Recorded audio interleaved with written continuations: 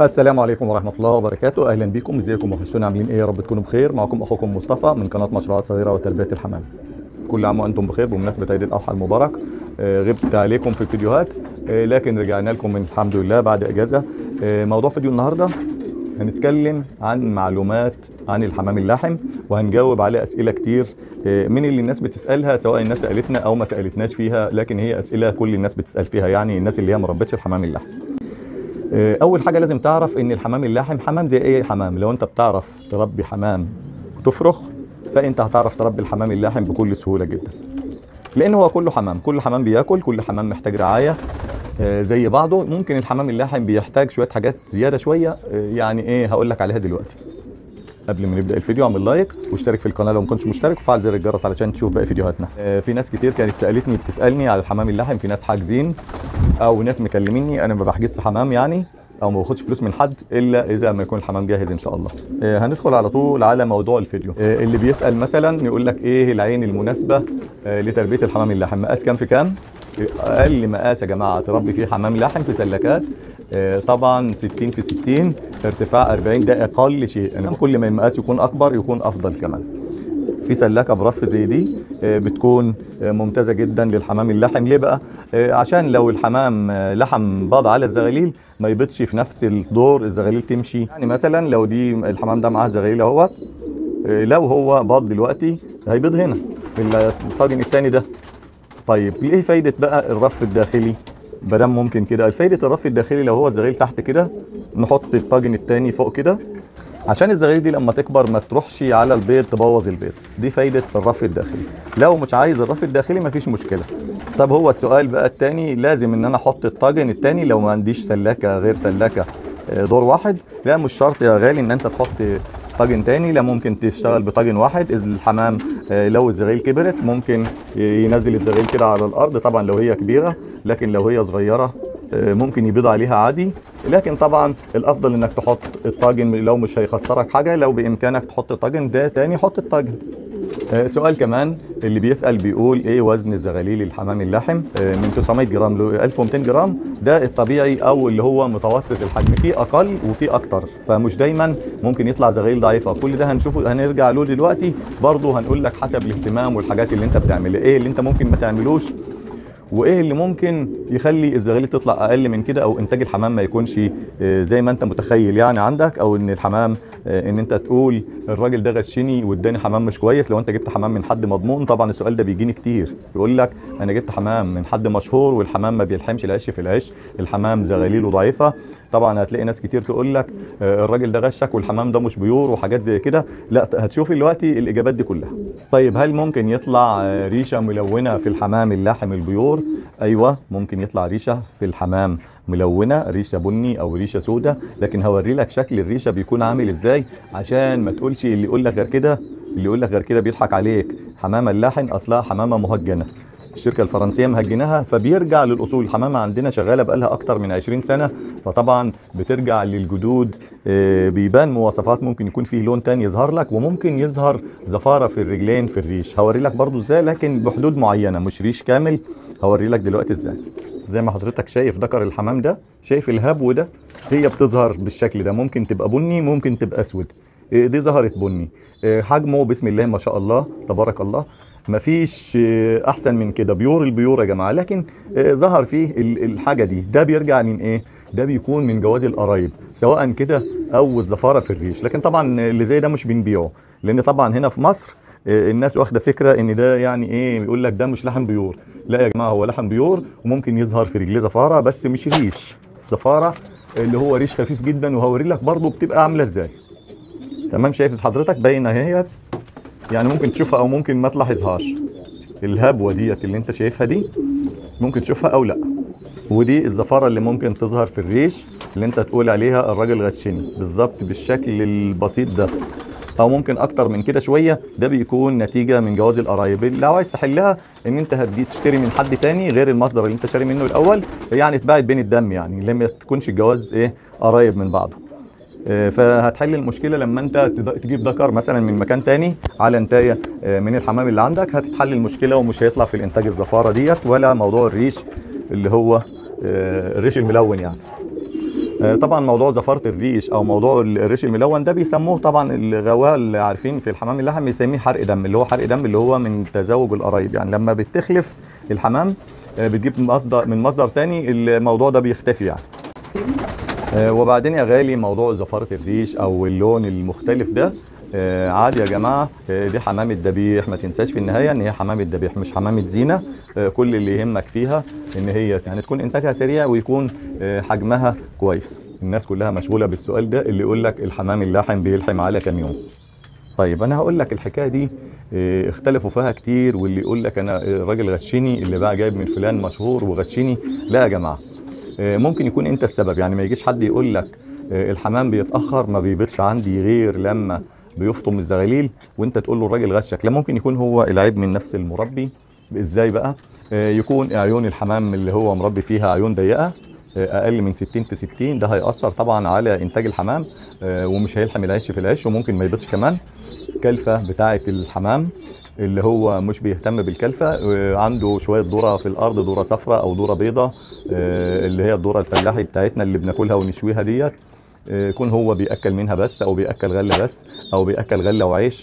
فمش بيكلف الحمام حاجة مش بيعطي الفيتامينات المطلوبة والأملاح المعدنية والأحماض الأمينية. آه، مش بيهتم آه، بإنه آه، يعطي غسول كلوي ومنشط كبدي ومضاد سموم الحاجات دي. طبعا آه، لازم تصرف على الحمام عشان يعطيك إنتاج. لكن مش هتصرف على الحمام ما تستناش منه إنتاج. الكلام ده عموما سواء للحمام اللاحم أو غير الحمام اللاحم. كل الحمام ممكن يلحم معاك لو أنت اهتميت بالحاجات اللي بنقول عليها دي. حاجة تانية كمان ممكن تخلي الحمام ما يبيضش عندك أو ما يلحمش العيش في العيش. آه، أو أنت اشتريت حمام من حد واتأخر عندك في البيض ممكن تقول الراجل ده غشني. إزاي بقى؟ أنت آه، اشتريت جوزين من واحد مشهور وراجل ثقة زي ما حضرتك بتقول والناس كلها بتشكر فيه. جيت أنت حضرتك حطيت القصين آه، في سلاكة زي كده حطيتهم أسبوع. وبعد أسبوع آه، جالك مزاجك تقول إيه طيب أما اربيهم على السايب رحت منزلهم على الأرض كده حطيتهم أسبوع. لا كده الحمام مش هيبيض. لو الحمام ما استمرش في مكان واحد يتعود على المكان أهم شيء تسيب الحمام في مكان واحد يتعود على المكان. يبيض فيه يفرغ فيه يتعود على المكان ما تستعجلش عليه. ممكن يقعد عش يتأخر أول ما يجي لك أسبوعين شهر. الحمام بياخد على المكان الأول الحمام اللاحم بعد كده يبيض بعد كده يفتح معاك إن شاء الله ربنا هيكرمك منه. طيب ممكن تكون حضرتك شاري الحمام في فصل الصيف وتقول الحمام اتأخر. الحمام في فصل الصيف عموما في ناس بتفصله وبتعزله عن بعضه وما تستناش منه إنتاج كويس في فصل الصيف. ممكن أصلا يبيض ويطلع عندك زغاليل ويجي لها جدري وزغاليل ضعيفة ومشاكل الصيف كتير في الفرخ ففي ناس بتعزل فعلا الحمام الذكر عن النتي في في الصيف وما يشغلهوش غير في فصل الشتاء. وده أفضل وقت لإنتاج الحمام اللي هو آه، فصل الشتاء إن شاء الله. أو يكون مكان عندك آه، مكيف زي ما شفنا إخواننا في الكويت عم مركبين تكييف للحمام. آه، فهو الموضوع هنا آه، حسب الجو عندك وحسب بلدك انت. شوف انت بلدك إيه لكن في الحر مش هتاخد انتاج كويس من الحمام. طيب إيه مكونات الكلفة الأساسية؟ طيب يا سيدي مكونات الكلفة الأساسية اللي هي آه، ذره الحمام اللي هو ذره العويجة فول بسلة آه، ذره صفراء قمح. الخمس حاجات دول هم المكونات الأساسية آه، في كلفة الحمام. عايز بقى تحط قرطم عايز تحط بذور الحاجات دي آه، زيادة منك انت. آه، تكلفة منك زيادة انت عايز تدلع حمامك آه، ربنا يجازيك خير آه، ويكون أفضل كمان لكن إحنا قلنا لك المكونات الأساسية. عايز تحط عيش ما تكترش عيش. عايز تحط عيش بنسبة أنا بقول آه، كيلو على كل 10 كيلو كلفة ممكن تحط عليهم كيلو عيش ما تكترش عن كده. ده رأيي. في ناس بتحط أكتر في ناس يعني أقل آه، كل واحد له إيه؟ اللي هو ماشي عليه.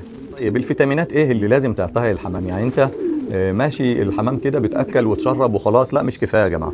لازم تعطي فيتامينات 3 أيام وتعطي أحماض أمينية 3 أيام وأملاح معدنية يومين آه، مضاد سموم آه، مضاد سموم وغسول كلوي ورافع مناعة.